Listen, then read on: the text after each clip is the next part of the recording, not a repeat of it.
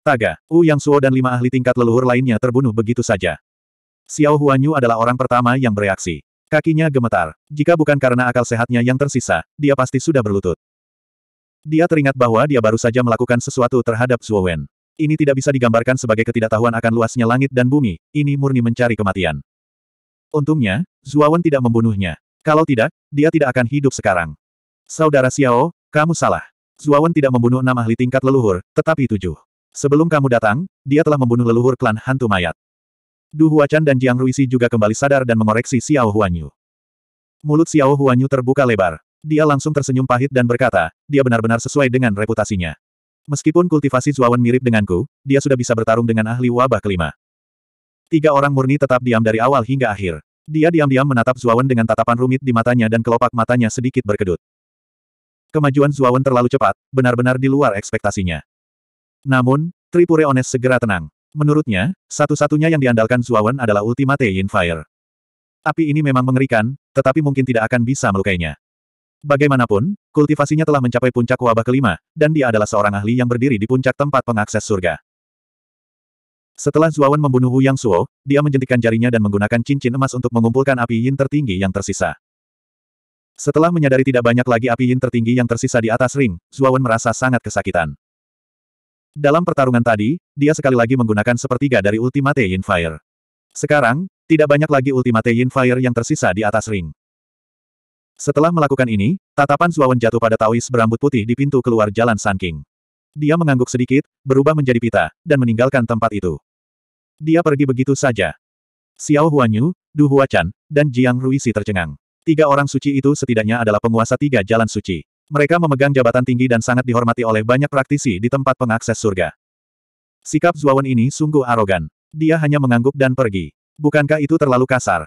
Guru, mengapa Anda tidak menyuruhnya tinggal? dia telah membunuh Wu Yang Suo dan yang lainnya, dan Wu Taiji akan segera mengetahuinya. Pada saat itu, Wu Taiji pasti tidak akan membiarkan masalah ini begitu saja. Saat ini, dia dalam bahaya besar, kata Lian Meng dengan ekspresi rumit. Tiga orang murni berkata dengan tenang, Lian Meng. Tidak bisakah kamu memberitahu, Zuawan saat ini tidak selemah yang Anda pikirkan. Selain itu, dia memiliki api Yin Han yang paling hebat. Jika Wu Taiji dan aku tidak melakukan apa pun, tidak ada seorang pun di tempat penghubung surga yang dapat melakukan apa pun padanya. Dan jika Wu Taiji benar-benar tidak tahu malu untuk menyerang, aku tidak akan hanya berdiri dan menonton. Anda tidak perlu terlalu khawatir tentang dia. Ayo kembali ke Istana Tiga Kemurnian. Saat berbicara, tiga makhluk murni menatap tajam ke arah Zuawan pergi. Dia tahu bahwa Zuawan pasti pergi ke jurang mimpi buruk untuk mencari cacing kalajengking. Lian Meng ragu sejenak lalu mengangguk. Tripure Ones benar, kekuatan yang baru saja ditunjukkan Zuawan memang mengerikan. Bahkan Wu Yang Suo, orang kedua yang memegang komando Menara Wu, telah terbunuh. Kemudian, di tempat akses surga, hanya ada sedikit orang yang bisa membunuh Zuawan. Xiao Huanyu, Du Huachan, dan Jiang Ruisi mengikuti dari dekat, mata mereka berkilat penuh kegembiraan. Mereka diam-diam merekam pertempuran ini dengan bola kristal. Saat bola kristal menyebar, seluruh tempat akses surga akan terguncang. Wah! Di Menara Wu, Wu Taiji membanting meja di depannya, menghancurkannya hingga berkeping-keping. Mati. Mereka semua mati. Bagaimana Zuawan bisa membunuh Wu Yang Suo dan yang lainnya?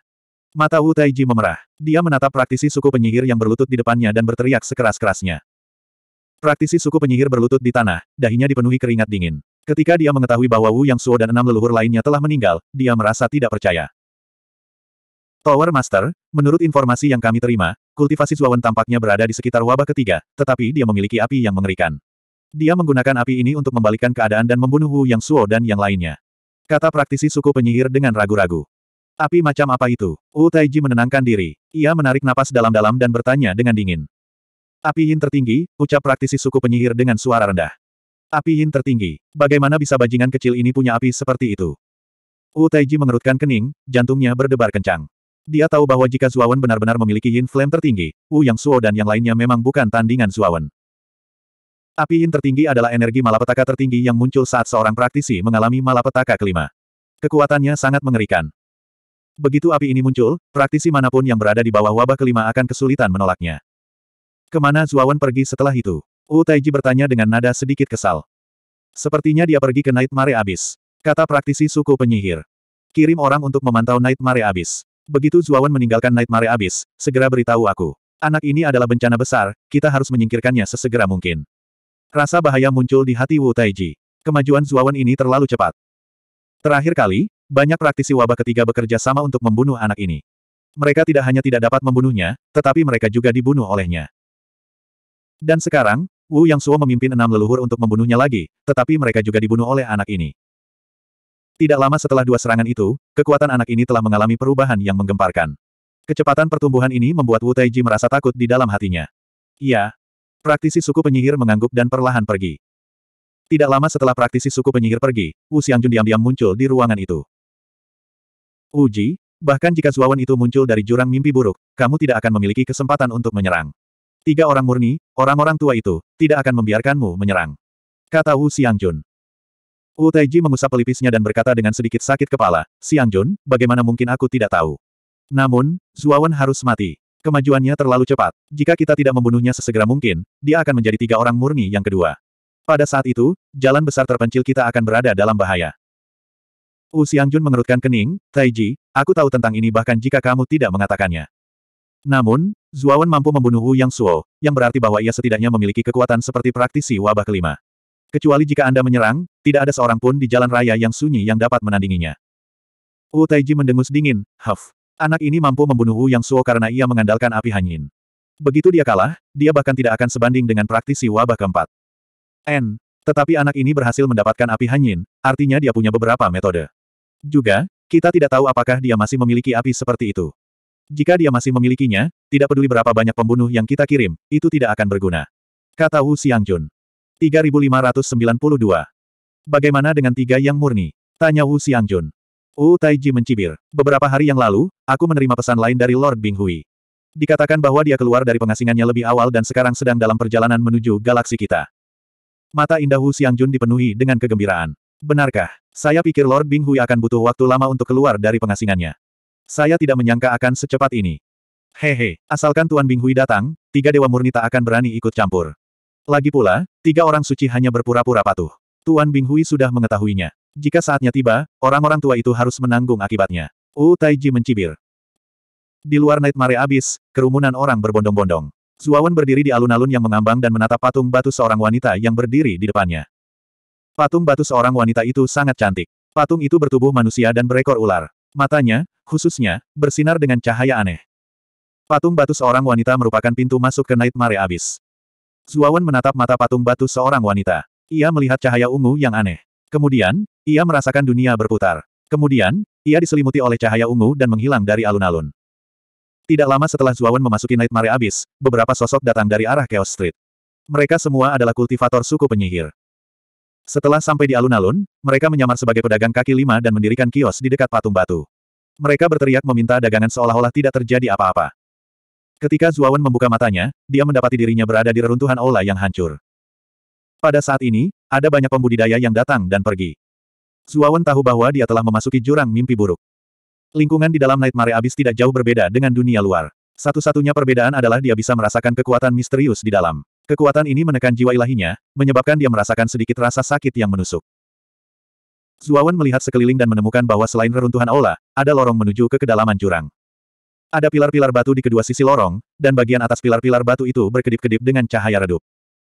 Selain cahaya redup, lorong itu sepenuhnya gelap. Zuawan juga memperhatikan bahwa sebagian besar kultivator sedang menjelajahi reruntuhan aula. Hampir tidak ada yang memasuki lorong tersebut. Luas reruntuhannya sangat luas, hampir setara dengan kota besar yang berpenduduk 10 juta jiwa. Zuawan merasa sakit kepala. Dari batu giok yang diberikan Lian Meng kepadanya, dia tahu bahwa mayat sesi ditempatkan di biara mimpi buruk di kedalaman jurang mimpi buruk. Selain itu, batu giok itu tidak memberikan petunjuk ke biara mimpi buruk. Hal ini membuat Zuawan merasa sedikit tidak berdaya. Dia tidak mungkin mencari biara mimpi buruk seperti lalat tanpa kepala setelah memasuki tempat ini, bukan? Hah, lihat, bukankah itu Cir Kling Tianhan? Dia diakui secara publik sebagai ahli terkuat dari generasi baru Tripuritis Street. Dikatakan bahwa dia adalah seorang jenius yang tak tertandingi dengan harapan terbesar untuk mengejar Lord Tripuritis di masa depan. Dia benar-benar datang ke Night Mare Abyss. Kamu tidak tahu, konon, Rao Tianhan ingin menerobos masuk ke biara mimpi buruk dan mengambil mayat dukun leluhur sesi. Konon, itu karena janji tiga dewa murni.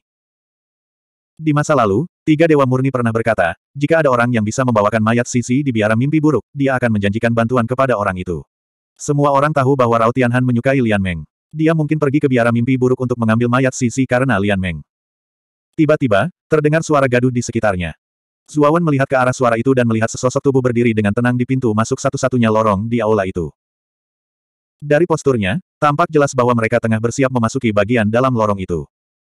Dia adalah seorang pria muda yang membawa pedang Dewa Biru Es di punggungnya. Rambut pendeknya yang mencapai bahunya terurai longgar, dan seluruh tubuhnya memancarkan cahaya tajam yang sulit dilihat. Rao Tianhan tidak menunggu lama sebelum dua sosok lainnya datang dan berjalan ke sisinya.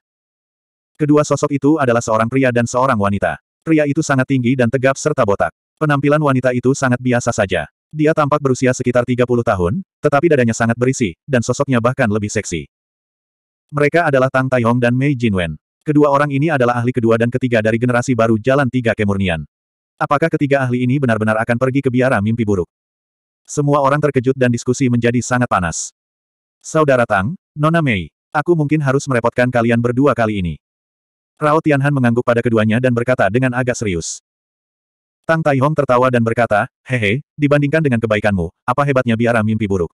Lagi pula, pasti akan ada tempat untukmu di tanah rahasia akses surga di masa depan. Saya berinvestasi pada Anda terlebih dahulu.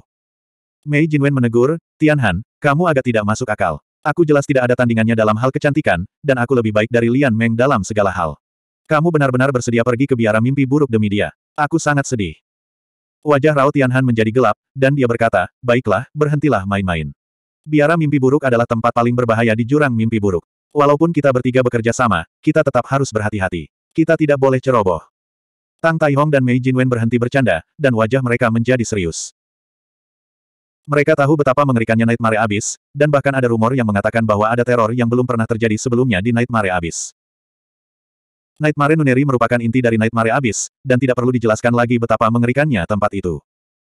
Sekalipun Rao Tianhan tidak mengatakannya, mereka tidak berani mengabaikannya. Tepat saat mereka bertiga hendak berangkat, sesosok tubuh menghentikan mereka. Siapa kamu? Mengapa kamu menghalangi jalan? Rao Tianhan menatap pemuda di depannya, sedikit mengernyit, dan berkata dengan sedikit tidak senang. Hah, aku mengenalimu. Bukankah kamu Zuawan, orang yang akhir-akhir ini dibicarakan di tanah rahasia pendakian surga? Bukankah kau lolos dari tanah rahasia yang mengakses surga? Mengapa kamu masih di sini sekarang? Mei Jinwen mengamati Zuawan dan langsung menyebutkan identitas Zuawan. Dia Zuawan, yang akhir-akhir ini terkenal. Dia tidak terlihat sangat kuat. Dia sangat biasa saja. Begitu Mei Jinwen mengatakan ini, kerumunan di sekitarnya menjadi gempar, dan terjadi banyak diskusi. Tatapan mata Rao Tianhan tampak aneh. Ia pernah mendengar tentang perbuatan Zuawan. Konon, beberapa waktu lalu, klan penyihir, klan mayat, klan binatang ruang waktu, klan naga, klan macan hitam, klan phoenix, dan klan putri duyung mengirimkan sebuah tim. Total ada tujuh orang dalam tim ini, dan semuanya adalah orang-orang kuat di atas Blade ketiga. Mereka mengepung dan membunuh Zuawan bersama-sama. Namun pada akhirnya, mereka bukan saja tidak membunuh Zuawan, melainkan lima orang di antaranya terbunuh, dan dua di antaranya melarikan diri.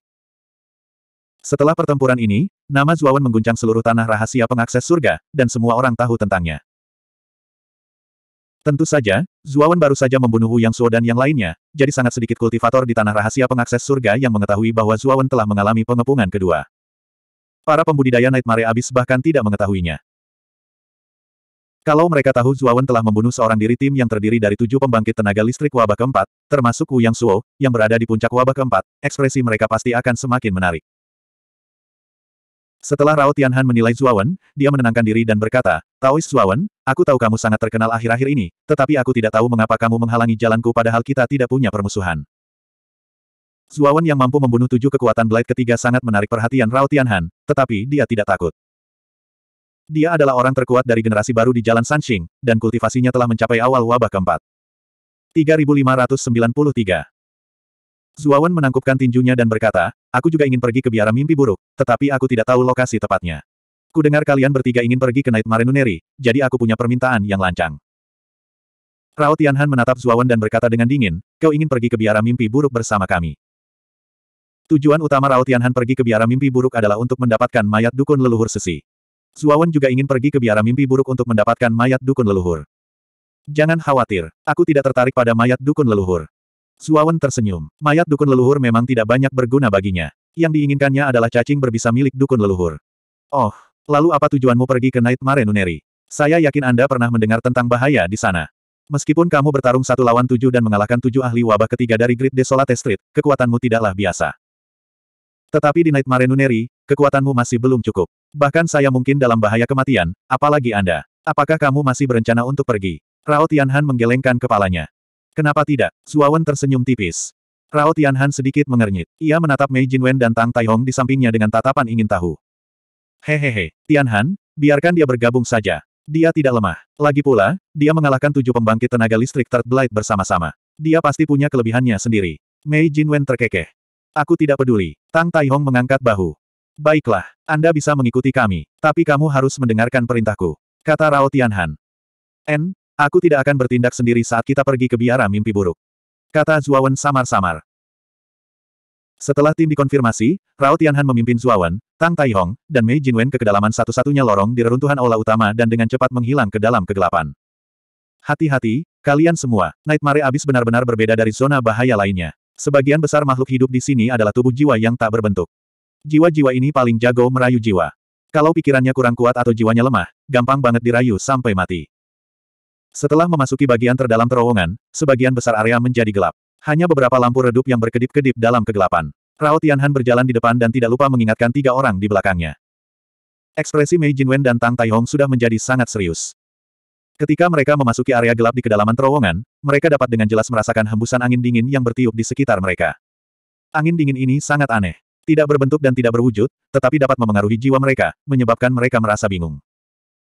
Mereka tahu bahwa angin yin ini seharusnya adalah tubuh jiwa yang disebutkan Rao Tianhan. Mereka memiliki kemampuan untuk menarik jiwa. Karena itu, mereka tetap tenang dan perlahan mengikuti di belakang Rao Tianhan. Zuawan berjalan di belakang. Ketika dia memasuki area gelap, dia telah menemukan jiwa-jiwa di sekitar angin yin. Awalnya dia mengira bahwa jiwa dalam angin yin akan menggerogoti sisi tubuh Rao Tianhan dan menyerbu gelabelanya dalam upaya menyerang jiwanya. Namun, bukan itu masalahnya. Ketika angin yin yang dibentuk oleh jiwa-jiwa itu berada beberapa kaki dari tubuhnya, mereka semua berputar di sekelilingnya seolah-olah mereka takut padanya. Untuk memastikan dugaannya, Zuawan berinisiatif mendekati angin yin. Namun, ia menemukan bahwa angin yin menjauh beberapa kaki. Mereka sama sekali tidak ingin bersentuhan dengan Zuawan. Mata Zuawan menyipit. Dia tahu tebakannya benar. Jiwa-jiwa angin yin ini memang takut padanya. Dia kembali menoleh ke depan dan melihat Rao Tianhan beserta kedua orang lainnya yang terus melaju ke arahnya. Dia tahu bahwa alasan angin yin ini takut padanya bukanlah karena jiwanya jauh lebih kuat daripada mereka bertiga, tetapi karena jiwanya mengandung batu primordial-primordial. Batu primordial-primordial terlalu misterius. Saat itu, batu primordial telah memperbaiki jiwanya yang runtuh dan telah menyatu dengan jiwanya, menyebabkan jiwanya menjadi sangat luar biasa. Selain itu, jiwanya telah mengalami transformasi yang mengguncang bumi. Dapat dimengerti bahwa angin yin yang dibentuk oleh jiwa-jiwa ini takut padanya. Namun, Zuawan sangat rendah hati dan berusaha sebisa mungkin untuk tidak bersentuhan dengan angin yin di sekitarnya. Oleh karena itu, Rao Tianhan dan dua orang lainnya tidak menyadari ketidaknormalan Zuawan. Rao Tianhan dan yang lainnya adalah orang-orang yang luar biasa. Meskipun angin yin di sekitarnya semakin kuat, mereka masih mampu menahannya dengan kekuatan mereka. Kelompok empat orang itu berjalan dalam kegelapan selama hampir lima hari. Akhirnya, Rao Tianhan berhenti. Kita hampir sampai di biara mimpi buruk. Kalian semua harus berhati-hati. Angin yin di sekitar biara mimpi buruk mungkin yang paling menakutkan. Dikatakan bahwa jiwa yang menakutkan yang disebut hantu mimpi buruk akan muncul. Bahkan pembangkit tenaga listrik setengah langkah dari alam penghancur surga dapat dengan mudah dipermainkan sampai mati oleh hantu mimpi buruk jika mereka tidak berhati-hati. Rao Tianhan berkata dengan suara yang dalam. Ekspresi Mei Jinwen dan Tang Taihong tampak serius. Mereka melihat ke depan pada saat yang sama. Di sana, mereka samar-samar dapat melihat sebuah biara yang samar-samar terlihat. Biara ini tidak besar, luasnya paling banyak 100 meter persegi. Di tempat yang gelap, biara ini memancarkan cahaya redup. Biara itu dikelilingi oleh lapisan kabut hitam. Kabut hitam bergejolak, dan sesekali celah yang bocor memungkinkan Rao Tianhan dan yang lainnya untuk melihat dengan jelas penampakan kuil. Namun, sebagian besar waktu, kuil tertutup oleh kabut hitam, dan sulit untuk melihat dengan jelas penampakannya. Setelah Zuawan melirik biara mimpi buruk yang samar-samar terlihat, dia memfokuskan seluruh perhatiannya pada kabut hitam di sekitar biara itu. Dia samar-samar bisa merasakan bahwa jiwa di dalam kabut hitam itu jauh lebih menakutkan daripada angin yin yang pernah mereka temui sebelumnya. Itu jelas bukan energi jiwa biasa. Rao Tianhan dan dua orang lainnya dapat melihat dengan jelas kengerian dan keanehan kabut hitam itu, sehingga ekspresi mereka menjadi sangat serius. Rekan Taois Zuo, ini adalah langkah terakhir untuk memasuki biara mimpi buruk. Ini juga langkah yang paling berbahaya. Kultivasimu adalah yang terendah di antara kami berempat. Jika kau terus mengikuti kami, aku khawatir nyawamu akan terancam. Belum terlambat bagimu untuk kembali sekarang. Rao Tianhan tiba-tiba menoleh ke arah Zuawan. Selama kurun waktu ini, ia telah merasakan bahwa kultivasi spesifik Zuawan baru berada pada tahap akhir dari pembusukan ketiga. Kultivasi Rao Tianhan sudah berada pada tahap awal pembusukan keempat. Meskipun Mei Jinwen dan Tang Taihong lebih rendah darinya, mereka juga berada di puncak pembusukan ketiga. Kultivasi mereka jauh lebih tinggi daripada Zuawan. Tidak apa-apa, aku akan mengikutimu ke biara mimpi buruk. Mungkin, saat kamu dalam bahaya, aku bisa membantumu. Kata Zuawan acuh tak acuh. Mendengar ini, Rao Tianhan sedikit mengernyit. Dia sangat tidak puas dengan sikap Zuawan. Bagaimanapun, dia telah dengan baik hati menasihatinya demi Zuawan, tetapi orang ini tidak menghargainya dan bahkan mengatakan bahwa dia dapat membantunya. Dia terlalu memikirkan dirinya sendiri. Kultivasimu baru pada tahap akhir dari pembusukan ketiga, jauh lebih rendah dari mereka bertiga. Bagaimana kau bisa membantu mereka? Kau hanya akan menjadi beban bagi mereka. Mei Jinwen tersenyum. Karena rekan Daois Zuo bersikeras mengikuti kita ke biara mimpi buruk, maka kita tidak akan mengatakan apa pun. Namun, jika rekan Daois Zuo menghadapi bahaya, kami mungkin tidak dapat membantu. Sudut mulut Zuawan sedikit melengkung. Tidak apa-apa, aku akan mengurus diriku sendiri. Kalian bertiga tidak perlu khawatir tentangku. 3594 Pada saat yang sama, mereka bertiga masing-masing mengeluarkan jimat emas. Ketiga jimat itu memiliki hubungan yang sesuai satu sama lain. Cahaya emas yang mereka pancarkan saling terkait dan membentuk-bentuk kerucut di antara ketiganya, menyelimuti sekelilingnya. Setelah kerucut emas terbentuk, angin yin di sekitarnya tidak berani mendekati mereka bertiga dan mundur. Zuawan diam-diam memperhatikan mereka bertiga pergi. Dia juga tahu apa yang dipikirkan Rao Tianhan. Dia merasa bahwa Zuawan adalah beban, jadi dia tidak ingin membawanya saat mereka sampai di pinggiran biara mimpi buruk. Soal hidup atau matinya, Rao Tianhan tidak peduli. Zuawan menggelengkan kepalanya dan tersenyum. Dari awal hingga akhir, dia benar-benar tidak ingin bergantung pada mereka. Dia hanya mengikuti mereka karena dia ingin mereka memimpin jalan. Sekarang Rao Tianhan dan dua orang lainnya sudah pergi, itu adalah hal yang baik baginya. Setidaknya dia tidak perlu menahan diri seperti sebelumnya. Zuawan menghentakkan kaki kanannya dan melesat ke arah biara mimpi buruk bagaikan anak panah yang lepas dari busurnya. Ke mana pun dia lewat, angin yin yang tak terhitung jumlahnya menghindarinya seolah-olah mereka telah bertemu musuh alami mereka. Mereka sama sekali tidak berani mendekati Zuawan. Setelah beberapa saat, Zuawan bergegas ke kabut hitam. Sungguh angin yin yang kuat. Saat Zuawan memasuki kabut hitam, gelombang angin yin yang lebih mengerikan menyapu. Terlebih lagi, saat angin dingin itu bertiup, dia bisa mendengar teriakan hantu dan lolongan serigala. Seolah-olah ada banyak hantu ganas yang berteriak di sampingnya. Namun, saat angin yin ini berada sekitar satu kaki dari Zuawan, mereka mengeluarkan teriakan melengking yang dipenuhi rasa takut. Kemudian, mereka semua berputar mengelilingi Zuawan. Zuawan tidak menunjukkan rasa puas diri. Sebaliknya, dia menunjukkan ekspresi serius. Angin yin di luar kabut hitam hanya dapat berada beberapa kaki darinya, namun angin yin di dalam kabut hitam dapat berada satu kaki darinya.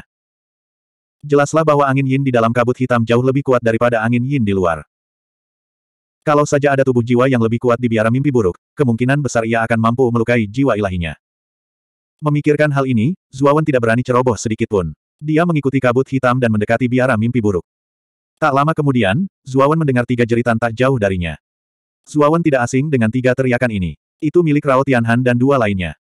Mata Zuawan berkedip. Akhirnya, dia bergegas menuju teriakan itu.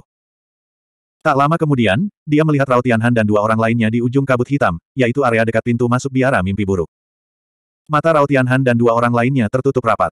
Wajah mereka pucat, tubuh mereka gemetar saat mereka berdiri di tempat. Dahi mereka sudah dipenuhi keringat dingin, bahkan punggung mereka pun basah oleh keringat. Zuo Wen memperhatikan bahwa di atas Rao Tianhan dan dua orang lainnya, ada wajah menyeramkan yang terbentuk oleh kabut hitam. Wajah itu melayang dan mengeluarkan tawa yang dingin. Apakah ini mimpi buruk yang dialami Rao? Zuo Wen menatap wajah ganas yang terbentuk oleh kabut hitam dengan ekspresi muram. Ketika Zuo Wen memandang Raja Mimpi Buruk, Raja Mimpi Buruk juga memperhatikan Zuo Wen. Mimpi buruk itu mencibir. Tawa yang mengerikan itu menjadi semakin menakutkan dan aneh. Kemudian, ia langsung melesat keluar dan diam-diam muncul di belakang Zuawan. Ia membuka mulutnya dan langsung menelan Zuawan.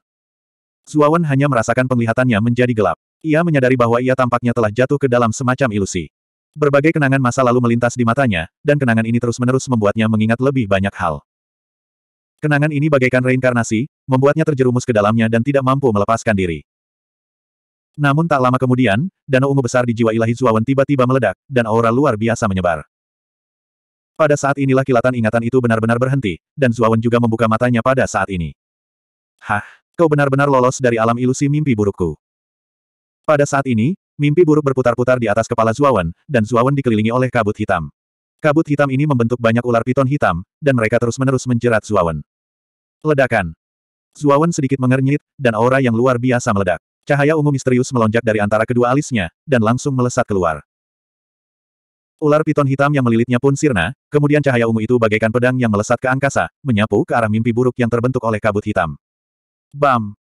Mimpi buruk itu terkejut, dan langsung terkena cahaya ungu, lalu menghilang sambil menjerit kesakitan. Kekuatan macam apa ini? Bagaimana bisa ia menekan kekuatan jiwa mimpi burukku? Tubuh Nightmare yang hancur dengan cepat terbentuk kembali, dan tidak berani mendekati Zuawan, dan dengan cepat menjauh. Namun, Zuawan tidak akan membiarkan mimpi buruk itu begitu saja. Dia memobilisasi danau ungu di dalam jiwa ilahinya, dan memadatkan sinar cahaya ungu yang melesat keluar dan menyelimuti mimpi buruk itu. Ah! Mimpi buruk itu menjerit berulang-ulang saat terus-menerus dihancurkan oleh kekuatan cahaya ungu. Pada akhirnya, ia benar-benar kehilangan auranya. Setelah mimpi buruk runtuh, kabut hitam yang menyelimuti biara mimpi buruk terus bergulir, lalu berubah menjadi hembusan angin dingin yang cepat menghilang. Dalam sekejap, Nightmare Nuneri yang samar-samar terlihat menjadi lebih jelas. Zuawan melangkah maju dan tiba di pintu masuk biara mimpi buruk. Dia tidak ragu-ragu dan langsung melangkah ke biara mimpi buruk. Tidak lama setelah Zuawan memasuki biara mimpi buruk, Rao Tianhan dan dua orang lainnya, yang awalnya terjebak dalam ilusi mimpi buruk, akhirnya perlahan membuka mata mereka. Ketiganya saling berpandangan, dan mereka semua berkeringat dingin. Aku khawatir kita terjerat oleh mimpi buruk tadi. Jika kita tidak bisa keluar dari alam mimpi yang diciptakan oleh mimpi buruk itu tepat waktu, jiwa kita akan dilahap oleh mimpi buruk itu dan kita akan menjadi mayat berjalan tanpa pikiran. Rao Tianhan mengerti semua yang telah terjadi. Wajahnya pucat pasi, dan dia bergumam pada dirinya sendiri dengan rasa takut yang masih ada. Ekspresi Mei Jinwen dan Tang Taihong bahkan lebih buruk, dan hati mereka dipenuhi dengan ketakutan yang tak kunjung hilang. Mereka tahu bahwa mereka baru saja melewati gerbang neraka. Hah! Kabut hitam di sekitar biara mimpi buruk telah menghilang, begitu pula mimpi buruk. Alasan mengapa kami bisa bangun mungkin karena seseorang telah menghilangkan mimpi buruk. Kalau tidak, kami masih akan berada dalam ilusi mimpi buruk. Mei Jinwen tiba-tiba bereaksi. Siapakah yang menyelamatkan kita dan memiliki kemampuan untuk menghancurkan mimpi buruk? Tang Taihong menampakkan ekspresi serius dan tiba-tiba berkata, mungkinkah itu Zuo Wen? Rao Tianhan dan Mei Jinwen terkejut pada awalnya, tetapi kemudian Rao Tianhan menggelengkan kepalanya dan berkata, itu tidak mungkin. Kultivasi Zuo Wen itu bahkan lebih rendah dari kita. Bagaimana dia bisa memiliki kemampuan untuk menghancurkan Nightmare? Tianhan benar, Zuo Wen itu tidak memiliki kemampuan. Seharusnya dia adalah seorang senior yang kebetulan lewat dan menyelamatkan hidup kita, kata Mei Jinwen dengan suara yang dalam. Kalian berdua telah mencapai langkah terakhir. Biara mimpi buruk sudah dekat. Apakah kau bersedia masuk ke biara mimpi buruk bersamaku? Rao Tianhan menangkupkan tinjunya ke arah Mei Jinwen dan Tang Taihong. 3595. Kakak Tang, bagaimana denganmu? Tatapan Rao Tianhan jatuh pada Tang Taihong. Mata Tang Taihong berkedip ragu-ragu. Saudara Rao, aku tahu batas kemampuanku. Aku baru saja jatuh ke dalam mimpi buruk itu.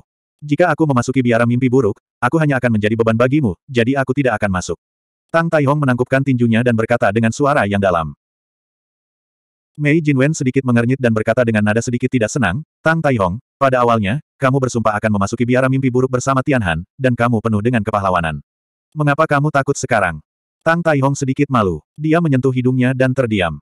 Cukup, Jinwen, jangan bicara lagi. Ini keputusan kakak Tang. Kita harus menghormati pilihannya. Rao Tianhan angkat bicara. Ia menangkupkan kedua tangannya ke arah Tang Taihong dan berkata, Saudara Tang, karena kamu sudah memutuskan, aku tidak akan memaksamu. Mari kita berpisah di sini.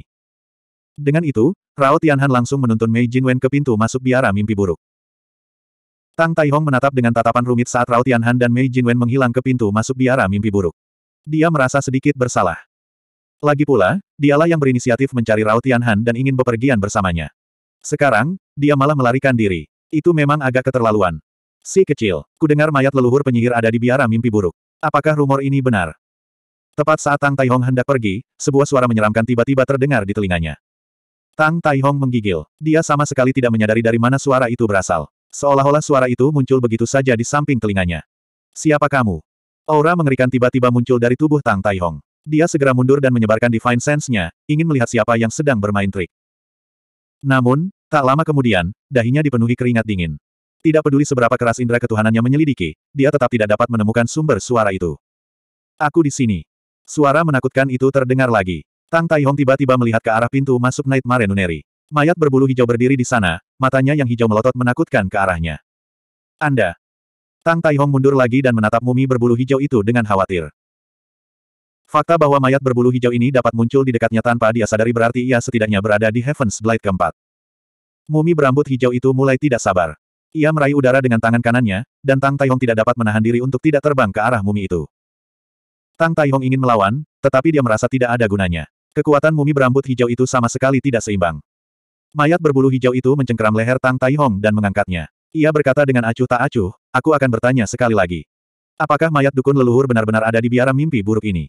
Senior, jangan bunuh aku. Mayat seorang dukun leluhur memang ada di biara mimpi buruk. Dia adalah salah satu dari dua belas dukun leluhur, dukun leluhur Sisi. Tang Tai Hong menggigil. Dia sudah tahu bahwa perbedaan antara dirinya dan mayat berbulu hijau ini terlalu besar. Cek cek, bagus sekali. Sekarang, ikut aku. Mumi berbulu hijau itu terkekeh. Tanpa menunggu penolakan Tang Tai Hong, ia memasuki biara mimpi buruk. Dunia di dalam biara mimpi buruk itu aneh. Segala macam cahaya luar biasa terus-menerus berkelap-kelip di sekitarnya. Selain itu, saat cahaya-cahaya ini berkelap-kelip, ilusi-ilusi aneh dan ganjil muncul satu demi satu. Saat Zuo Wen berjalan melewati ruang aneh ini, jiwanya senantiasa diselimuti oleh kekuatan ilusi. Ilusi yang sangat kuat, seluruh Nightmare Nuneri adalah dunia ilusi murni. Zuo Wen memandang pemandangan aneh di sekelilingnya, dan tatapannya menjadi semakin serius. Dia telah berada di ruang ini selama beberapa waktu, tetapi dia menemukan bahwa dia tidak bisa keluar dari ilusi di sekelilingnya sama sekali. Selain itu, ada juga jiwa-jiwa kuat yang tersembunyi dalam ilusi ini. Jiwa-jiwa ini akan muncul diam-diam saat jiwa seseorang tidak berpikiran jernih. Mereka akan memasuki jiwa seseorang dan menyerangnya tanpa ampun. Jiwa Zuawan selalu berpikiran jernih, jadi dia tidak menjadi sasaran jiwa-jiwa itu. Namun, dengan telekinesis ilahinya yang tajam, dia dapat dengan jelas merasakan niat membunuh dan keganasan yang dipancarkan oleh jiwa-jiwa yang tersembunyi dalam kegelapan. Jiwa-jiwa ini bagaikan burung nasar. Mereka diam-diam menunggu, menunggu jiwanya jatuh ke dalam kekacauan. Kemudian, mereka akan menyerang bersama-sama dan melahap jiwanya sepenuhnya. Suawan berhenti. Ia menatap dunia aneh di sekitarnya lagi dan mengerutkan kening. Aku tidak bisa terus seperti ini. Aku harus keluar dari ilusi ini. Zuawan bergumam pelan. Matanya menunjukkan sedikit kedinginan. Kemudian, dia duduk bersila dan mulai memobilisasi niat pedang jiwanya. Pedang, kemari. Cahaya keemasan yang menyala-nyala muncul di antara alis Zuawan. Seolah-olah cahaya itu telah terwujud dan berkumpul di sana. Pada akhirnya, cahaya keemasan yang menyala-nyala meninggalkan gelabelannya dan membentuk cahaya pedang emas yang mengerikan. Niat pedang yang mengerikan itu membumbung tinggi ke angkasa dan langsung menyebar ke seluruh angkasa, menyebabkan dunia yang mengerikan itu bergetar samar di bawah niat pedang yang mengerikan ini. Tebasan pedang. Zuawan tiba-tiba membuka matanya dan menghembuskan napas panjang. Cahaya pedang emas yang terkondensasi di antara alisnya membubung ke langit dan menebas ke atas tanpa ampun. Ledakan, ledakan, ledakan. Cahaya pedang emas terus melesat ke atas. Telekinesis ilahi Zuawan dengan jelas merasakan bahwa jiwa-jiwa yang tersembunyi dalam kegelapan runtuh di bawah cahaya pedang emas, meledak seperti balon. Tidak hanya itu, seluruh ruang aneh itu, di bawah hantaman cahaya pedang, mulai bergetar hebat, seolah-olah akan runtuh kapan saja. Batas-batas ruang itu terkoyak inci demi inci oleh cahaya pedang emas, runtuh inci demi inci, dan musnah inci demi inci. Pada akhirnya, seluruh ruang itu tampaknya mengalami gempa bumi yang belum pernah terjadi sebelumnya. Dengan ledakan, ilusi tak berujung di sekitarnya hancur total. Sinar cahaya yang tak terhitung jumlahnya, bagaikan kembang api, bermekaran di atas angkasa, cantik dan mempesona. Zuawan berdiri di tempat yang sama, menyambut sinar cahaya yang tersebar.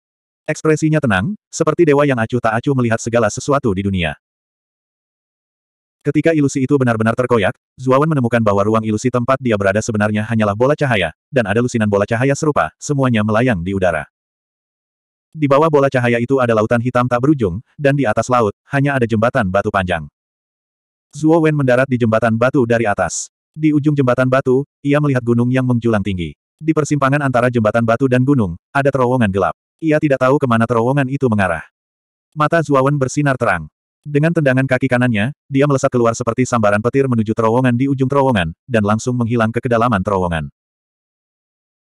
Tidak lama setelah Zuawan pergi, bola-bola cahaya yang melayang di udara di atas jembatan batu tampaknya terpengaruh oleh niat pedang spiritual Zuawan dan runtuh, menghilang menjadi titik-titik cahaya yang tak terhitung jumlahnya.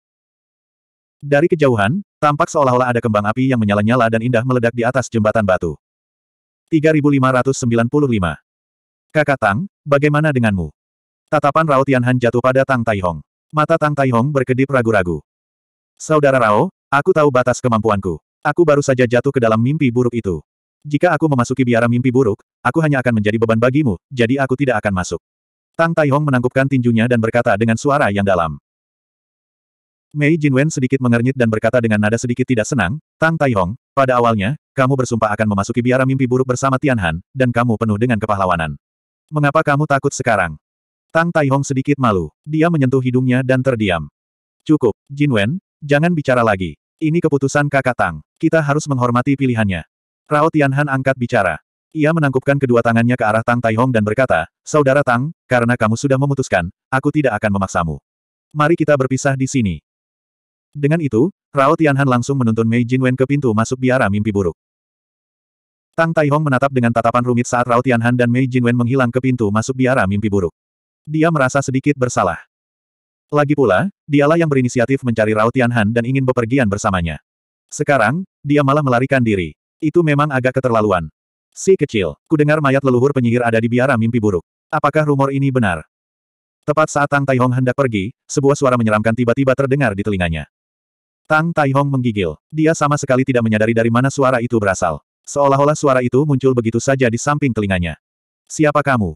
Aura mengerikan tiba-tiba muncul dari tubuh Tang Taihong. Dia segera mundur dan menyebarkan Divine Sense-nya, ingin melihat siapa yang sedang bermain trik. Namun, tak lama kemudian, dahinya dipenuhi keringat dingin. Tidak peduli seberapa keras indera ketuhanannya menyelidiki, dia tetap tidak dapat menemukan sumber suara itu. Aku di sini. Suara menakutkan itu terdengar lagi.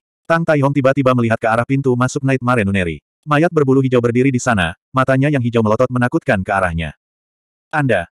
Tang Taihong mundur lagi dan menatap mumi berbulu hijau itu dengan khawatir. Fakta bahwa mayat berbulu hijau ini dapat muncul di dekatnya tanpa dia sadari berarti ia setidaknya berada di Heaven's Blight keempat. Mumi berambut hijau itu mulai tidak sabar. Ia meraih udara dengan tangan kanannya, dan Tang Taihong tidak dapat menahan diri untuk tidak terbang ke arah mumi itu. Tang Taihong ingin melawan, tetapi dia merasa tidak ada gunanya. Kekuatan mumi berambut hijau itu sama sekali tidak seimbang. Mayat berbulu hijau itu mencengkeram leher Tang Taihong dan mengangkatnya. Ia berkata dengan acuh tak acuh, aku akan bertanya sekali lagi. Apakah mayat dukun leluhur benar-benar ada di biara mimpi buruk ini? Senior, jangan bunuh aku. Mayat seorang dukun leluhur memang ada di biara mimpi buruk.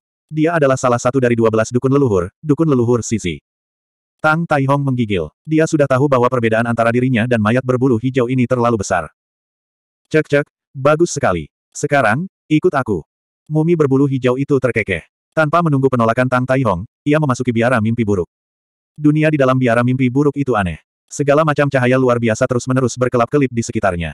Selain itu, saat cahaya-cahaya ini berkelap-kelip, ilusi-ilusi aneh dan ganjil muncul satu demi satu.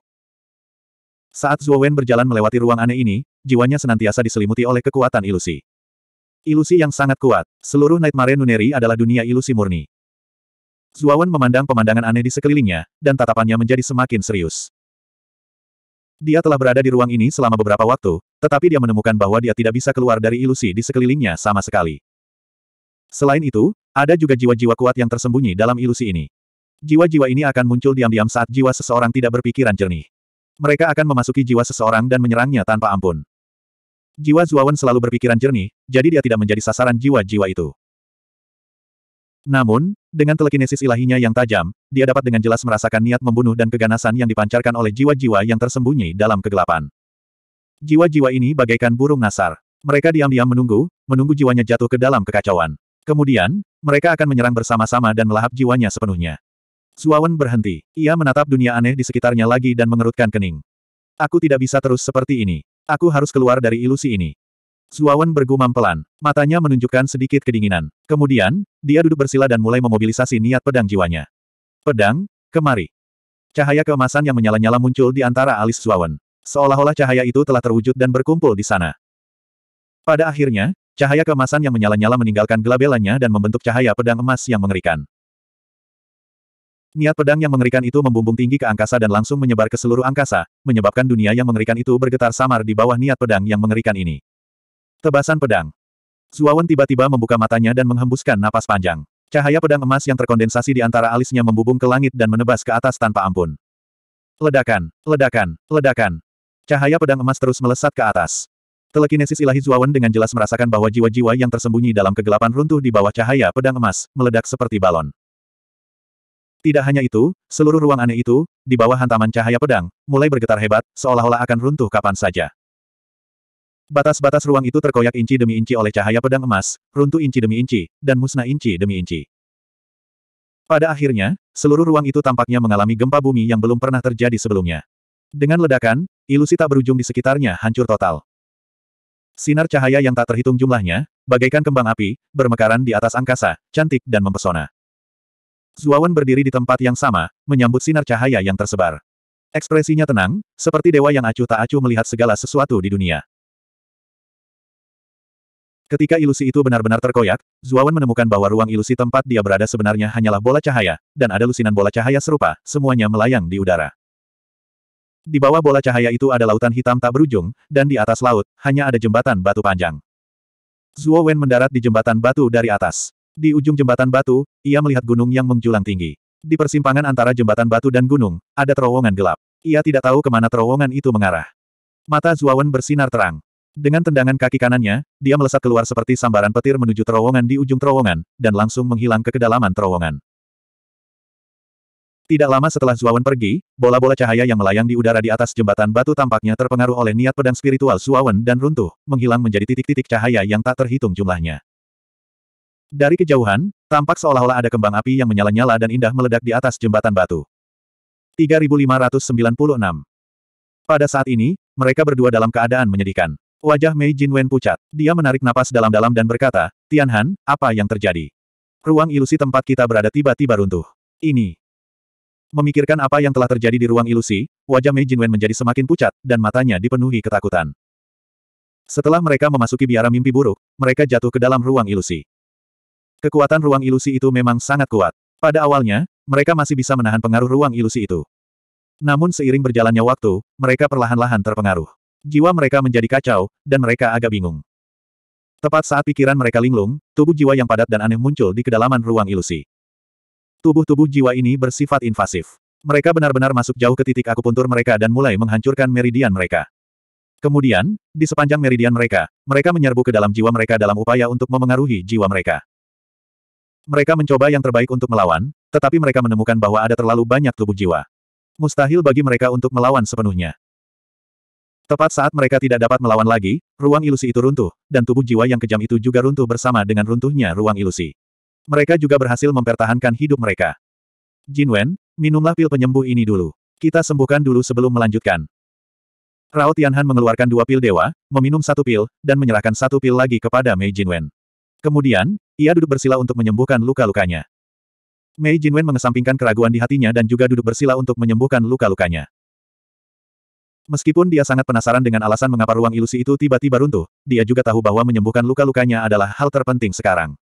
Bagaimanapun, itu mungkin akan lebih berbahaya selanjutnya. Mereka harus meningkatkan kondisi mereka ke puncak.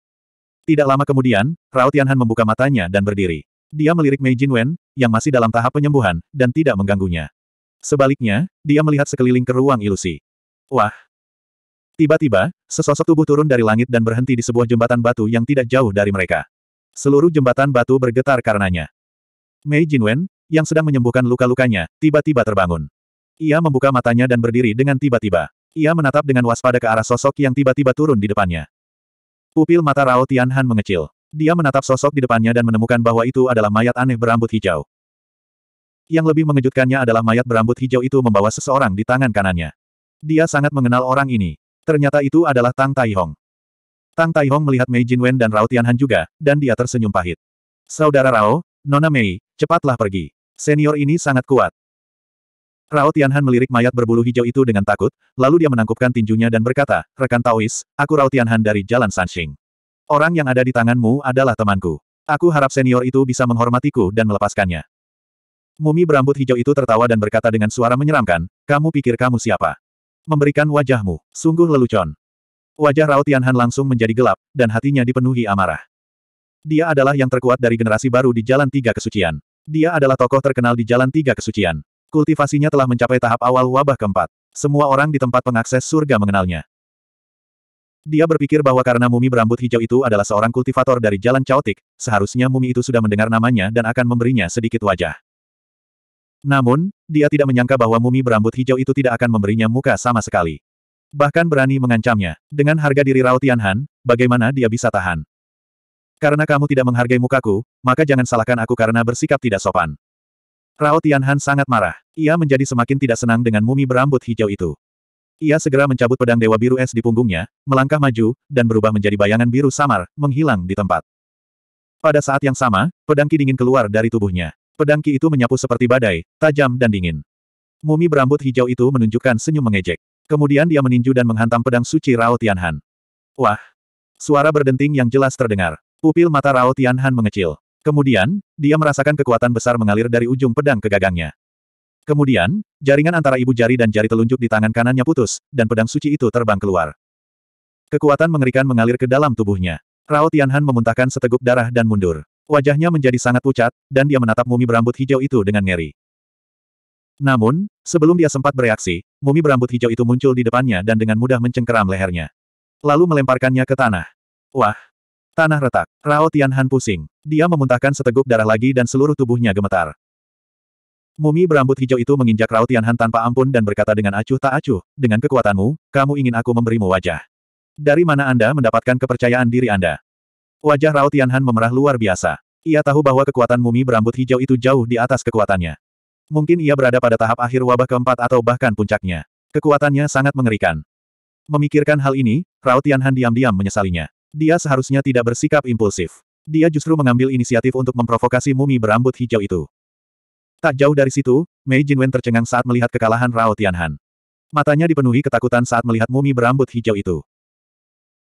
Mumi berambut hijau itu mengulurkan tangan kanannya, dan Mei Jinwen yang telah kehilangan akal sehatnya dengan mudah ditangkap di tangannya dan terlempar tidak jauh dari Rao Tianhan. Tang Taihong melihat semua ini dan mendesah dalam hatinya. Dia tahu bahwa dia telah meremehkan kekuatan mumi berambut hijau itu. Awalnya ia mengira Rao Tianhan mungkin tidak sebanding dengan mumi berambut hijau itu, tetapi setidaknya ia akan mampu mempertahankan hidupnya. Sekarang, tampaknya jarak antara Rao Tianhan dan mumi berambut hijau itu terlalu besar. Jika mumi berambut hijau ingin membunuh mereka, ia dapat melakukannya hanya dengan jentikan jarinya. Kau memasuki biara mimpi buruk untuk mencari mayat dukun leluhur, kan? Aku akan memberimu kesempatan untuk tampil. Pimpin jalan. Jika kau bisa menemukan mayat dukun leluhur, aku mungkin akan mempertimbangkan untuk mengampuni nyawamu. Kata mumi berambut hijau itu dengan acuh tak acuh. Senior, kami bersedia. Tang Taihong segera menyetujui.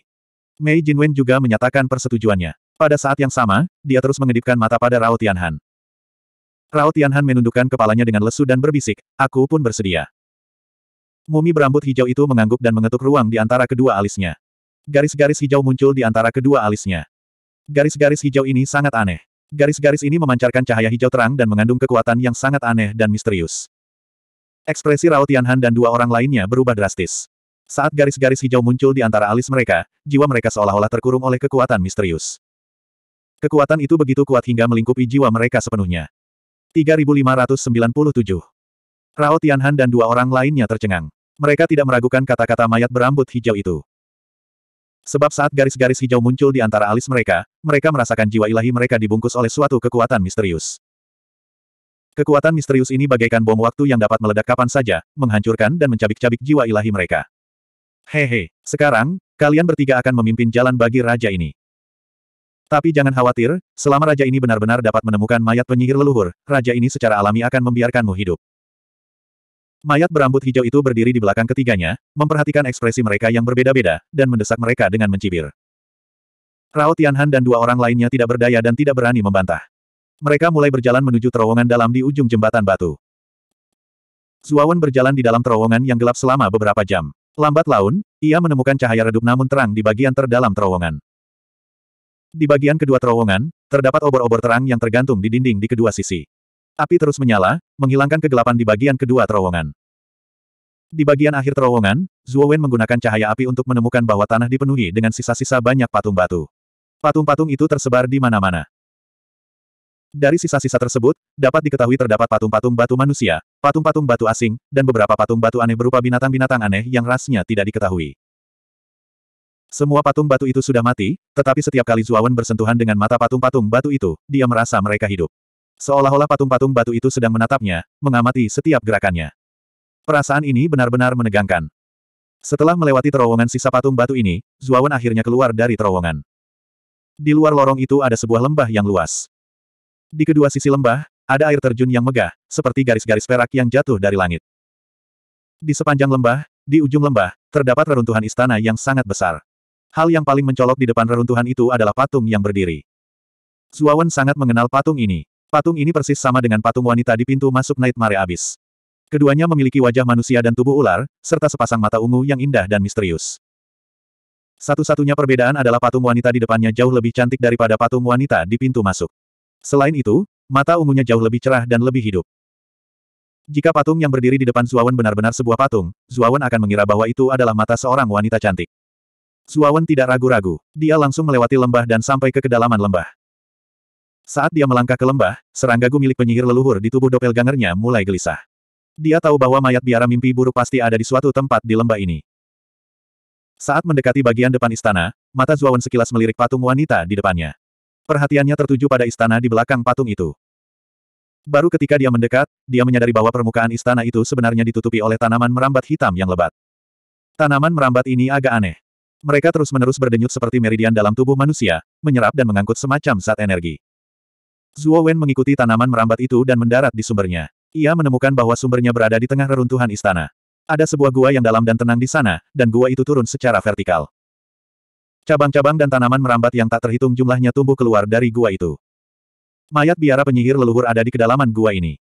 Tatapan mata Zuawan tampak serius. Saat dia tiba di dekat gua, serangga gu di tubuh doppelgangernya menjadi semakin gelisah.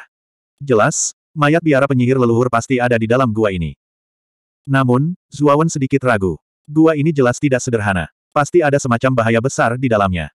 Terlebih lagi, reruntuhan istana memberinya firasat yang sangat buruk. Memasuki bagian dalam gua pasti akan membawa malapetaka. Aku punya senjata ilahi pemecah langit dan harta karun tertinggi seperti batu primordial-primordial. Bahkan jika benar-benar ada sesuatu yang mengerikan di gua ini, aku khawatir itu tidak akan bisa melakukan apa pun padaku. Zuawan berpikir dalam hati. Tanpa ragu, dia melangkah maju dan memasuki gua. Saat Zuawan bergegas masuk ke dalam gua, tanaman merambat hitam di sekitar istana tampak terstimulasi dan mundur kembali ke dalam gua. Pada saat yang sama, mata patung wanita yang berdiri di luar istana memancarkan cahaya ungu misterius. Namun, cahaya itu menghilang dalam sekejap dan segera kembali ke keadaan normal. Setelah memasuki gua, Zuawan mendapati bahwa di sana tidak segelap yang dibayangkannya. Dia dapat melihat dengan jelas dengan mata telanjangnya dalam jarak beberapa mil. Seperti yang telah diduganya, kedua sisi gua itu ditutupi oleh tanaman merambat hitam yang lebat. Tanaman itu seperti meridian, kusut dan rumit. Namun, bagian dalam gua itu dipenuhi hembusan angin dingin, menyebabkan Zuowen menggigil ketakutan. Pada awalnya, tidak terjadi apa-apa pada Zuowen saat dia menyelam. Namun, satu jam kemudian, Zuo Wen samar-samar mendengar suara isak tangis. Suara tangisan itu terdengar cukup jauh, samar-samar melayang, terdengar sangat melankolis. Zuawan mengerutkan kening. Dia tidak menyangka akan ada suara teriakan di dalam gua. Terlebih lagi, suara teriakan itu jelas suara wanita. Tepat saat Zuawan tengah memikirkan hal ini, suara teriakan itu tiba-tiba semakin dekat. Tubuh Zuawan tiba-tiba membeku. Ini karena dia menyadari bahwa teriakan itu sudah sangat dekat dan lembut terngiang di telinganya. Seolah-olah wanita yang terus menangis itu sedang berdiri di belakangnya saat ini, dekat dengan telinganya dan terisak pelan. Zuawan mengerutkan kening. Tiba-tiba dia berbalik dan mendapati tidak ada seorang pun. Namun, teriakan itu masih bergema di telinganya. Zuawan mencoba beberapa kali tetapi tetap tidak menemukan siapa pun. Dia mengabaikannya dan terus menyelam. Namun, tangisan itu semakin keras dan keras. Akhirnya, tangisan itu menjadi histeris. Kemudian, Zuawan merasakan hawa dingin di bagian belakang telinganya, seolah-olah ada yang meniupkan udara ke telinganya. Wajah Zuawan menjadi muram. Namun, dia tidak mengatakan apa-apa dan tidak menoleh ke belakang. Sebaliknya, dia dengan cepat menyelam. Setelah beberapa saat, rasa dingin itu menghilang dari telinganya. Kemudian, kulit kepala Zuawan terasa seperti sedang disentuh oleh cakar yang tajam. Seolah-olah ada cakar tajam yang menggaruk kulit kepalanya. Zuawan menarik napas dalam-dalam. Dia sangat tenang dan masih mengabaikannya. Dia sudah bisa merasakan bahwa mayat penyihir leluhur Kenzi tidak jauh darinya. Dia harus segera sampai di sana dan mengambil mayat penyihir leluhur Kenzi. Tiba-tiba, ia mulai mendengar suara-suara aneh di telinganya. Kemudian, bahunya merosot, seolah-olah seseorang sedang berbaring telentang. Rasa tajam datang dari lehernya. Seolah-olah ia telah teriris oleh pisau. Tatapan mata Zuawan berubah dingin. Namun, dia tetap tidak mengatakan apa pun dan kecepatannya meningkat. Akhirnya, ia mencapai dasar dan kakinya mendarat di tanah. 3598. Bagian bawahnya tampak seperti dunia tanaman merambat hitam. Tanaman merambat itu terjalin secara tidak teratur, dan sumber semua tanaman merambat hitam itu adalah tubuh yang luar biasa besar yang melayang di udara. Tubuh ini berwajah manusia dan bertubuh burung. Ada ular hijau yang tergantung di telinganya dan ular merah di tangannya. Ini adalah salah satu dari dua belas dukun leluhur, Sesi. Dua ular hijau melilit telinga Sesi, dan dua ular merah besar melilit lengannya. Namun, ular hijau dan ular merah itu masih tergantung di tubuh Sesi, tidak bergerak. Mereka sudah lama mati. Zuawan melihat tanaman merambat hitam itu tertanam rapat di tubuh Sesi dan terus-menerus menyerap energi fisiknya. Zuawan sedikit mengernyit, dan tatapan waspada muncul di matanya. Energi tanaman merambat hitam itu berasal dari tubuh dukun leluhur Sisi. Lalu, ke mana perginya energi yang diserap tanaman merambat hitam itu? Apakah ada makhluk kuat lain di biara mimpi buruk ini? Mata Zuawan tampak muram. Dia teringat tangisan aneh yang didengarnya saat memasuki gua dan beban yang tiba-tiba bertambah di punggungnya. Jelas ada semacam makhluk hidup yang mengendalikan tempat ini. Atau lebih tepatnya, makhluk hidup itu sengaja membawanya ke sini. Tujuannya mungkin untuk menyerap energi dalam tubuhnya. Tepat saat Zuawan sedang memikirkan hal ini, dasar danau tiba-tiba berguncang. Kemudian, tanaman merambat hitam yang saling terkait rapat itu tiba-tiba menggulung dan menyapu ke arah Zuawan. Saat tanaman merambat hitam itu menyapu, Zuawan dengan jelas melihat banyak sekali pecahan tulang beterbangan di bawah tanaman merambat itu. Matanya menjadi gelap. Dia tahu bahwa pecahan tulang ini mungkin adalah mayat para pembudidaya yang datang untuk menyelidiki di masa lalu. Namun, mereka semua telah mati di sini dan menjadi nutrisi bagi tanaman merambat hitam. Zuawan sangat tenang. Tiba-tiba energi di sekelilingnya bergejolak, dan seluruh tubuhnya berwarna ungu. Dia melangkah maju, dan tinjunya seperti angin. Tanaman merambat hitam yang menerjang ke arahnya semuanya runtuh di bawah serangan tinjunya. Tiba-tiba, tanaman merambat setebal puluhan meter melesat keluar dari tanaman merambat hitam yang tak terhitung jumlahnya. Tanaman merambat itu dengan cepat melesat keluar dari belakang Zuowen, ingin melilitnya. Zuowen tidak ragu untuk melepaskan doppelgangernya. Doppelganger itu meninju dan menghantam tanaman merambat itu. Namun tak lama kemudian, klon itu terpental, dan tanaman merambat itu pun terhenti di tempatnya akibat pukulan klon itu, menggeliat tak henti-hentinya. Kekuatan dewa yang hancur. Tubuh utama mendarat di samping klon dan menemukan bahwa tinju kanan klon masih utuh di luar, tetapi bagian dalamnya terkoyak oleh semacam kekuatan misterius. Dia bisa tahu sekilas bahwa itu disebabkan oleh kekuatan dewa yang hancur. Ekspresi heran muncul di matanya. Tanaman merambat hitam ini sebenarnya menggunakan kekuatan ilahi yang terfragmentasi. Bagaimana ini mungkin? Di bagian galaksi ini, berkat seni primordial-primordial, dia mampu menggunakan kekuatan ilahi yang menghancurkan sebelum maju ke tahap penghancur surga. Di samping itu, pada dasarnya mustahil bagi makhluk hidup mana pun di bagian galaksi ini yang bisa menggunakan kekuatan ilahi yang menghancurkan, kecuali makhluk hidup ini awalnya adalah seorang elit tahap penghancur surga, tetapi hanya memutuskan kultivasinya sendiri untuk turun ke bagian galaksi ini, seperti Bing Hui. Mungkinkah orang di balik tanaman merambat hitam ini adalah seorang elit tahap penghancur surga yang datang dari luar galaksi? Mata Zuawan berbinar, dan dia memikirkan sebuah kemungkinan, tetapi hatinya hancur. Jika memang benar seperti dugaannya, maka situasinya saat ini sangat buruk. Lagi pula, para elit tahap penghancur surga terlalu kuat, dan jauh dari apa yang dapat dibandingkan dengan para elit tahap penghancur surga setengah langkah. Tubuh utama dan doppelganger Zuawan langsung menyatu menjadi satu. Pada saat ini, tanaman merambat hitam juga merobek udara dan dengan kejam mencambuk tubuh Zuawan. Tatapan mata Zuawan menjadi sangat serius, dan tiba-tiba dia melambaikan tangannya, menghancurkan semua tanaman merambat hitam di sekitarnya. Kemudian, dia tiba-tiba meninju keluar, dan kekuatan dewa yang hancur melonjak keluar, menghantam tanaman merambat hitam itu.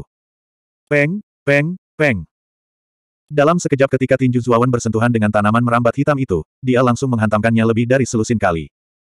Setiap kali dia meledakkan riak energi yang amat menakutkan, sedangkan tanaman merambat hitam itu terus-menerus dipukul mundur oleh Zuawan. Zuawan mendesah pelan. Tanaman merambat hitam ini memang mengandung kekuatan ilahi yang menghancurkan, tetapi tidak sekuat yang dibayangkannya. Dengan kekuatan ilahi yang menghancurkan yang dapat dilepaskan oleh tubuh utama dan doppelgangernya, dia mampu sepenuhnya menekan tanaman merambat hitam ini. Apa? Kamu, seorang manusia kecil yang bahkan belum berhasil mencapai tahap penghancur surga, ternyata memiliki kekuatan ilahi yang menghancurkan di dalam tubuhmu. Melihatmu, kamu tidak terlihat seperti seseorang yang memutuskan kultivasinya sendiri, jadi bagaimana kamu bisa sampai di sini? Pada saat Zuawan membalas tanaman merambat hitam itu, sebuah suara wanita yang menyeramkan terdengar di tempat ini, tetapi ada sedikit nada terkejut dalam suara ini. Suara perempuan yang menyeramkan ini tidak asing bagi Zuawan. Suara itu adalah suara tangisan yang terus-menerus terngiang di telinganya selama ia turun ke dalam gua. Berpura-pura misterius, tapi masih tidak mau keluar dan menunjukkan dirimu. Menyelinap dalam kegelapan, pahlawan macam apa kamu? Kata Zuawan acuh tak acuh. Hehe, aku hanya wanita lemah, jadi tentu saja aku bukan pahlawan. Namun, aku sangat penasaran denganmu. Kau jelas bukan seorang kultivator tahap penghancur surga, tetapi kau dapat menggunakan kekuatan ilahi yang menghancurkan. Ini sangat langka bahkan di seratus wilayah luar. Suara wanita yang menyeramkan itu terdengar lagi, dan ada lebih banyak lagi dalam suara itu. Ada sedikit godaan dan ketertarikan. Hem, apa yang sedang kamu lakukan? Kau benar-benar datang untuk dukun agung Sisi ini. Suara wanita menyeramkan itu tiba-tiba berubah, karena Zuawan tiba-tiba menyerbu keluar, menyerbu ke arah mayat dukun agung Sisi. Namun, suara wanita itu jelas tidak akan membiarkan Zuowen melakukan apa yang diinginkannya. Banyak tanaman merambat hitam muncul, menghalangi jalan Zuowen. Pada saat yang sama, tanaman merambat hitam yang mengandung kekuatan ilahi yang menghancurkan langsung menyapu hingga ratusan, bergegas menuju Zuawan, langsung mengelilingi Zuawan dan menutupinya. Niat pedang jiwa ilahi, hancurkan aku. Zuawan mengetuk-ngetukkan tangannya di antara kedua alisnya, dan cahaya kemasan muncul di antara kedua alisnya. Seketika, pedang cahaya kemasan tersapu keluar, dan di bawah kendali pikiran Zuawan, pedang itu menebas dengan ganas ke sekeliling. Cahaya keemasan yang menyala-nyala menyebar, dan kemudian Zuawan dapat dengan jelas mendengar suara wanita itu mulai berteriak di udara, tampak sangat ketakutan.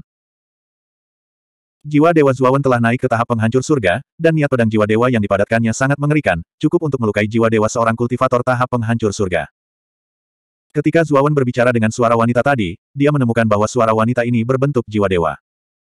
Selain itu, ketika dia turun, wanita ini diam-diam muncul di belakangnya, jadi bisa dilihat bahwa suara wanita ini tidak memiliki tubuh fisik. Lagi pula, wanita ini harus tahu bahwa jiwa keilahiannya bukanlah jiwa biasa, jadi ketika turun, dia tidak boleh gegabah menyerang dan menyerbu jiwa keilahiannya. Ah, jiwa keilahianmu, benar-benar telah mencapai tahap penghancur surga, bagaimana ini mungkin?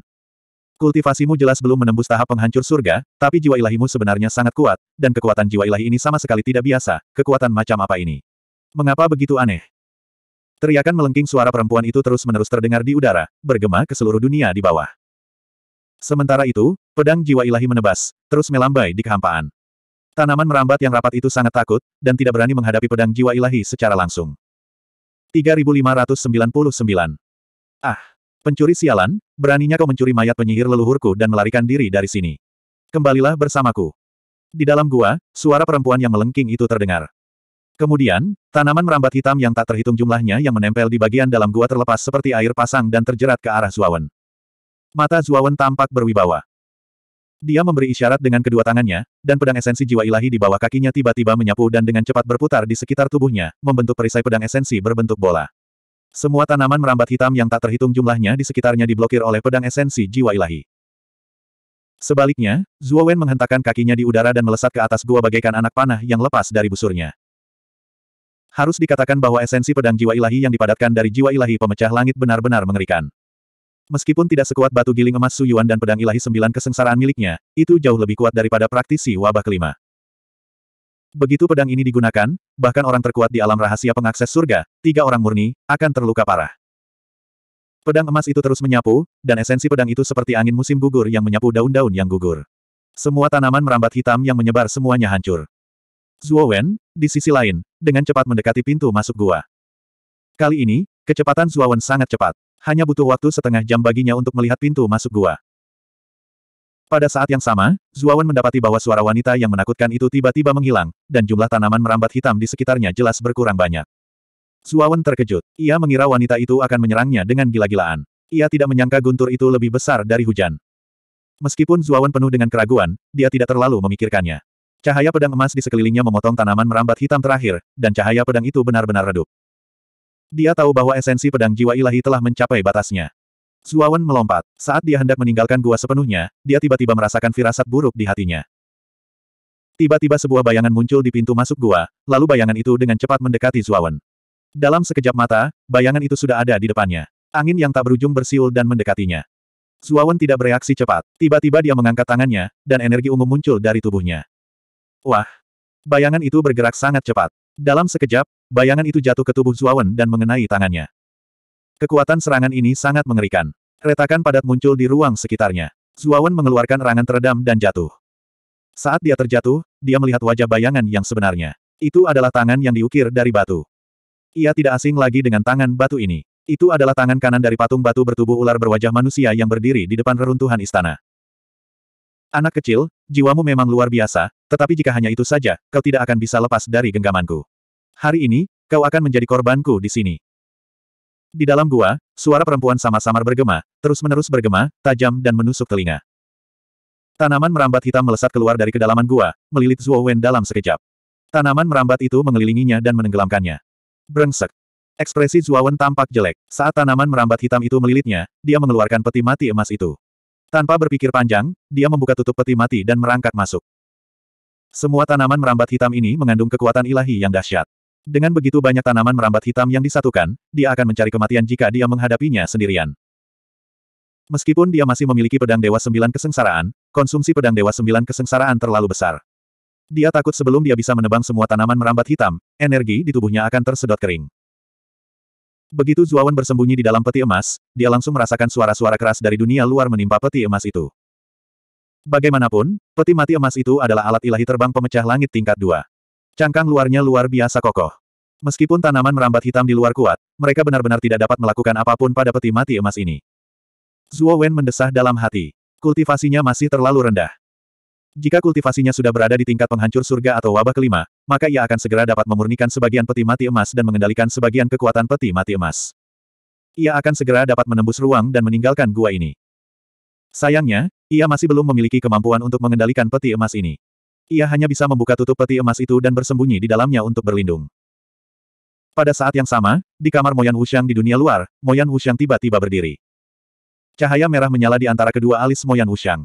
Kemudian, cahaya merah ini muncul di depan Moyan Wuxiang, memperlihatkan bayangan samar. Dari sosok bayangan itu, dapat diketahui bahwa bayangan itu adalah seorang perempuan muda. Moyan Wuxiang sedikit mengernyit, menatap bayangan ini dengan dingin, dan berkata, Luo Hong. Kenapa tiba-tiba keluar lagi? Bukankah sudah kukatakan kalau tak ada yang lain, kau tak boleh keluar? Bayangan wanita itu terdiam sejenak dan mendesah pelan, aku benar-benar tidak menyangka bahwa Nu tidak mati. Saya merasakan aura Nu. Kalau aku tidak salah, pemuda yang kamu sukai seharusnya sudah jatuh ke tangan Nu sekarang. Nu, mungkinkah yang kau katakan, pesaing yang pernah datang ke alam bawah bersamamu? Mata indah Moyan Wuxiang memperlihatkan ekspresi terkejut. Dia telah bersama Luo Hong untuk waktu yang lama dan tahu bahwa Luo Hong adalah keturunan langsung dari klan Nua. Meskipun kultivasinya tidak terlalu kuat, statusnya tidak rendah. Dan mereka telah bersama selama bertahun-tahun, jadi Luo Hong tentu saja menceritakan banyak hal padanya. Di bawah indoktrinasi Luo Hong, pemahaman Moyan Wuxiang tentang seratus alam luar bahkan lebih jelas daripada Zuawan. Dia juga mendengar dari Luo Hong bahwa Nuwu bukanlah keturunan langsung dari klan Nua, tetapi hanya keturunan sampingan. Namun, dia sangat berbakat dan statusnya di klan Nua tidaklah lemah. Suatu hari, dia diperintahkan untuk datang ke alam bawah untuk melaksanakan rencana kejam dan tanpa pamrih. Untuk mencuri pujian, Nuwu diam-diam mengikutinya. Kemudian, dia mengetahui tentang Nuwu, jadi mereka berdua bertarung dengan sengit. Pada akhirnya, dia dikalahkan oleh Nuwu. Tubuhnya hancur dan jiwa ilahinya pun musnah. Jika dia tidak memiliki rahasia penyelamat hidup, dia pasti sudah lama mati. Tentu saja, Nuwu tidak lebih baik. Tubuhnya hampir hancur dan jiwa ilahinya hampir hancur. Luka-lukanya sangat serius. Nuwu selalu mengira Luo Hong dibunuh olehnya, tetapi dia tidak menyangka Luo Hong memiliki rahasia yang menyelamatkan hidupnya. Pada akhirnya, dia meninggalkan jejak jiwa ilahinya dan hidup sampai sekarang. Iya, itu dia, Jalang. Kalau bukan karena dia, aku tidak akan jatuh ke dalam kondisi menyedihkan seperti ini.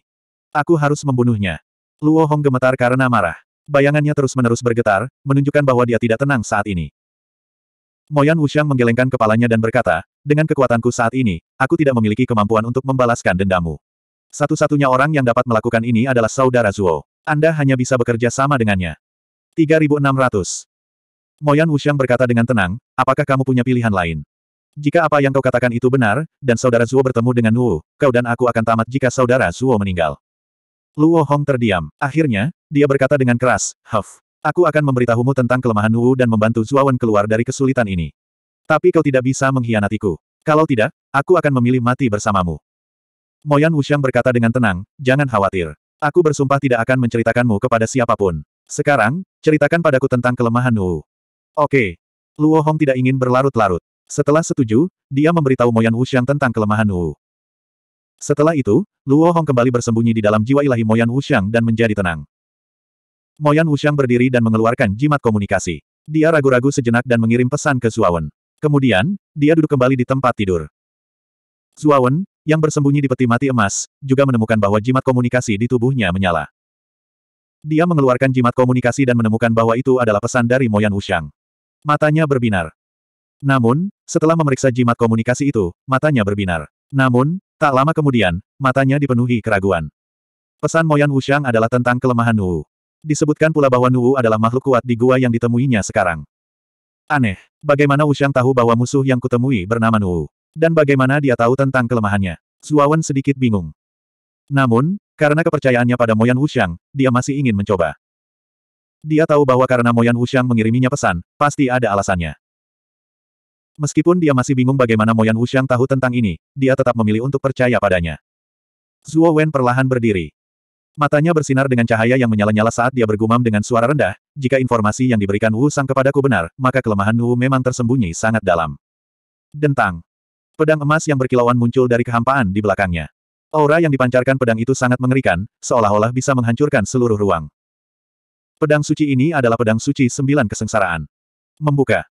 Zuawan menarik napas dalam-dalam dan membuka tutup peti emas itu. Ia menebas dengan pedangnya, dan cahaya pedang yang mengerikan itu seperti penggiling daging, memotong semua tanaman merambat hitam di dekat peti emas itu menjadi debu. Zuawan memanfaatkan kesempatan ini untuk melompat keluar dari peti mati emas dan meletakkannya di dunianya yang besar. Ci-ci-ci. Pedang Dewa Sembilan Kesengsaraan menebas dan berubah menjadi bayangan pedang yang tak terhitung jumlahnya, seperti bintang-bintang di langit. Tanaman merambat hitam di sekitarnya semuanya terpotong-potong oleh bayangan pedang. Setelah menghancurkan tanaman merambat hitam yang menghalangi jalannya, Zuawan tidak lari ke arah pintu masuk gua di atas. Sebaliknya, ia terus menyelam ke bawah, bergegas menuju area dengan tanaman merambat hitam terbanyak di bawah. Bayangan pedang yang tak berujung meledak di depan Zuawan, dan semua tanaman merambat hitam yang menghalangi jalannya hancur.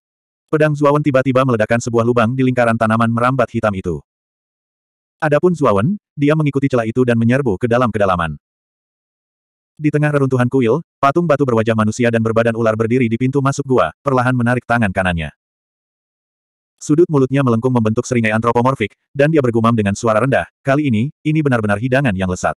Aku bisa merasakan aura dukun leluhur lainnya pada bocah ini. Yang lebih penting, aku benar-benar bisa merasakan aura Desireles pada anak laki-laki ini. Sepertinya Desireles di langit berbintang ini ada di tangan bocah ini. Aku hanya tidak tahu apakah si Jalang Luohong itu meninggalkan bekas padanya. Namun, itu tidak masalah. Setelah aku membunuh anak ini, aku akan membuka dunia luar angkasa padanya, dan aku secara alami akan dapat menemukan Desireles. Jika wanita Jalang Luohong itu benar-benar meninggalkan bekas padanya, aku akan menghapus bekas itu dan sepenuhnya menghapus jejak terakhir wanita Jalang itu dari dunia ini. Ketika berbicara sampai di sini, mata patung batu itu tiba-tiba terfokus dan dia segera menoleh ke arah pintu masuk lembah tempat kuil itu berada. Empat sosok muncul di pintu masuk lembah. Tiga di antaranya adalah manusia, dua pria, dan satu wanita. Di belakang mereka bertiga ada mumi yang ditutupi rambut hijau. Inilah akhir dari biara mimpi buruk. Rao Tianhan berjalan di depan. Ia melirik kuil di ujung lembah, dan matanya tiba-tiba menyipit. Ia melihat patung batu berwajah manusia dan bertubuh ular di depan kuil yang bobrok itu. Ini bukan pertama kalinya dia melihat patung batu ini. Di pintu masuk Nightmare Abyss, ada patung batu serupa dengan wajah manusia dan tubuh ular. Namun, yang mengejutkannya adalah patung batu kuil yang sudah bobrok itu benar-benar bergerak bebas. Khususnya, sepasang mata yang berkedip-kedip dengan cahaya ungu itu benar-benar berkedip dengan cahaya yang hidup. Kekeke, satu lagi makanan lesat yang diantar ke rumahku. Apalagi, ada empat sekaligus. Surga benar-benar baik padaku. Patung batu berwajah manusia dan bertubuh ular itu mencibir dingin. Ia melangkah maju dan menyapu ke arah Rao Tianhan. Ekspresi Rao Tianhan dan dua orang lainnya yang berjalan di depan sedikit berubah. Mereka semua merasa bahwa patung batu berwajah manusia dan bertubuh ular ini luar biasa. Mumi berambut hijau itu sedikit mengernyit. Dia tidak menyangka akan ada patung batu seperti itu di kedalaman biara mimpi buruk. Terlebih lagi, patung batu ini hidup. Kalian bertiga, pergi dan hentikan ini. Mumi berambut hijau itu melihat gua di dalam kuil yang sudah bobrok itu. Ia menduga bahwa mayat dukun leluhur kemungkinan besar ada di dalam gua itu. Ketiganya tidak bodoh. Mereka tentu tahu bahwa mumi berambut hijau itu ingin menggunakan mereka sebagai umpan. Namun, mereka tidak punya pilihan lain. Bagaimanapun, hidup mereka ada di tangan mumi berambut hijau itu. Mereka tidak berani menentang perintah mumi itu. Memikirkan hal ini, mereka bertiga menggertakkan gigi dan berubah menjadi tiga bayangan yang menyapu ke arah patung batu. Mumi berambut hijau itu juga tidak lamban. Sementara Rao Tianhan dan dua orang lainnya bertarung melawan patung batu berwajah manusia dan bertubuh ular, patung itu berencana untuk menyerbu ke dalam aula. Ledakan, ledakan, ledakan.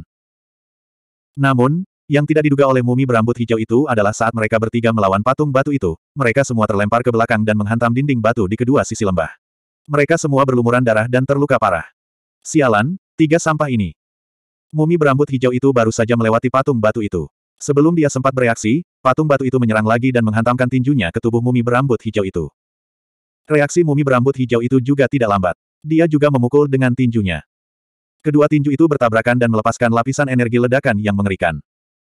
Kemudian, mumi berambut hijau itu mengerang dan langsung terbanting ke tanah oleh tinju itu. Tangan kanannya bergetar tanpa henti, dan selaput di antara ibu jari dan telunjuknya retak. Sangat kuat. Pupil mata mumi berambut hijau itu mengecil. Sebelum dia sempat mendesah, patung batu itu mengangkat kakinya dan menebas.